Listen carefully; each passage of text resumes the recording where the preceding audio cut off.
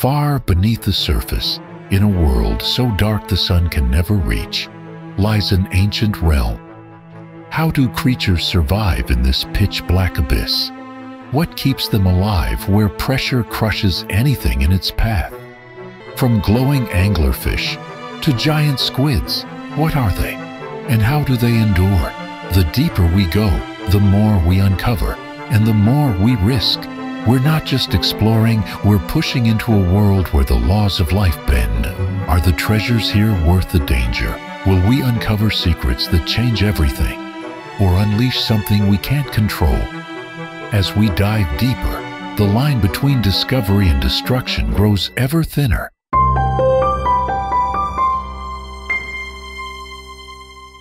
The ocean is divided into several layers or zones based on how deep the water is. The top layer is called the sunlight zone. This is where the water is shallow and sunlight can still penetrate. The sunlight zone stretches from the surface of the ocean to about 200 meters below. In this zone, there is life everywhere. You'll find schools of fish, dolphins, sharks, and even whales. Coral reef and kelp forests thrive here. This zone is home to a variety of colorful fish and plants, and it's where most ocean life can be seen with the naked eye. Below this, we enter the twilight zone. It stretches from 200 meters down to about 1,000 meters. Here, uh, the sunlight is very faint and it gets colder. The twilight zone is home to fish that have big eyes to see in the dim light. Lanternfish and other bioluminescent creatures are common here. As we go deeper, we move into the midnight zone, which starts at about 1,000 meters and goes down to 4,000 meters.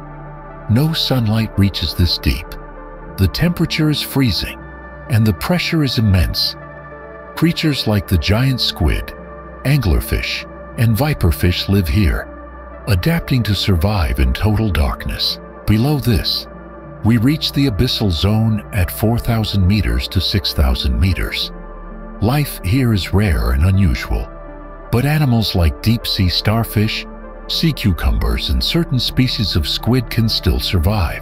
The deepest part of the ocean is the Hadal Zone, which begins beyond 6,000 meters. This is the realm of the Mariana Trench, uh, the deepest part of Earth's oceans. Life here is almost unimaginable. The creatures that live in the Hadal Zone are built to withstand extreme pressure and cold, such as snailfish and amphipods. For most of history, we didn't know much about these deep ocean zones.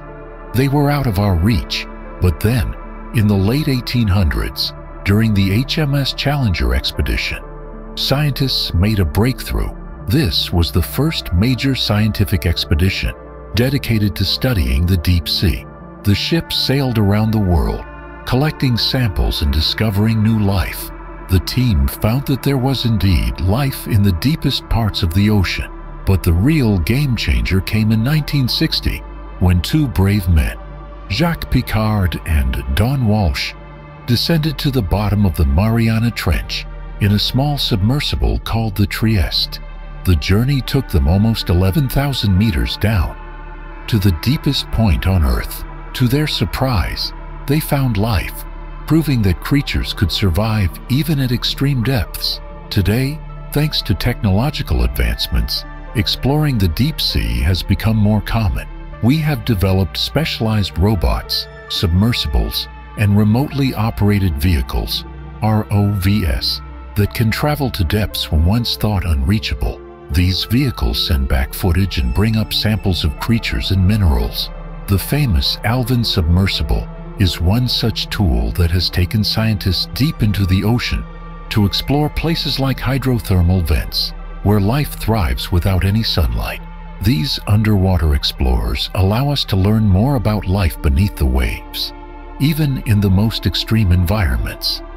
Now, you might be wondering, how do creatures survive in the deep sea, where there is no light and extreme pressure? The answer is simple. These creatures have adapted in amazing ways.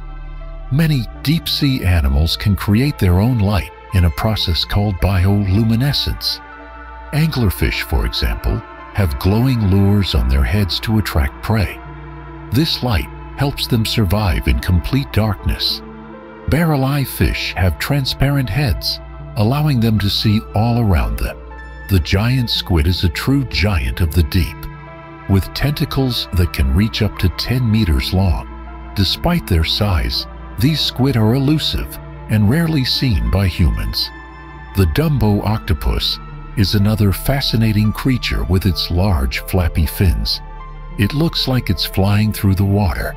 Deep sea creatures live for a long time and grow slowly. This is because food is hard to come by at such depths.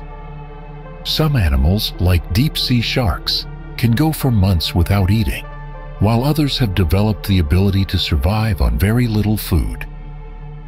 But while the deep sea is home to many strange and wonderful creatures, it is also a very fragile environment, as human activity can easily cause damage. One major concern is deep sea mining, a practice that has recently started to get a lot of attention. Deep sea mining simply means extracting minerals from the ocean floor. The deep sea is rich in valuable metals like cobalt, nickel, and manganese, which are used in making everyday items such as smartphones, electric cars, and batteries. As our demand for these materials grows, some companies are looking to the ocean as a new source of resources. They use machines to extract metals from the ocean floor, hoping to meet the rising demand for these valuable minerals. However, there are major concerns about the effects of deep-sea mining on the environment. The ocean floor is home to many delicate ecosystems. Mining these areas can destroy habitats and harm the creatures living there. The process of mining also stirs up fine particles from the ocean floor, which can block the sunlight from reaching plants and other organisms. This can create a ripple effect, harming entire ecosystems. In addition, we don't know the full extent of how mining might impact deep-sea creatures. Some creatures, like the giant tube worms near hydrothermal vents, rely on the chemicals released by the ocean floor to survive. By disturbing these vents, mining could disrupt their food supply and possibly lead to extinction. Some scientists argue that we should focus on developing alternative materials and more sustainable mining methods rather than exploiting the ocean we have only begun to understand the deep sea, and once we damage it, it may be impossible to repair. Despite the risks, many people are still excited about the possibilities of exploring the deep sea.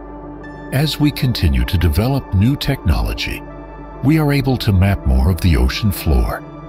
More than 80% of the ocean remains unexplored, and with every discovery, we learn more about the hidden world beneath the waves. Some even dream of living in underwater cities, much like astronauts living in space.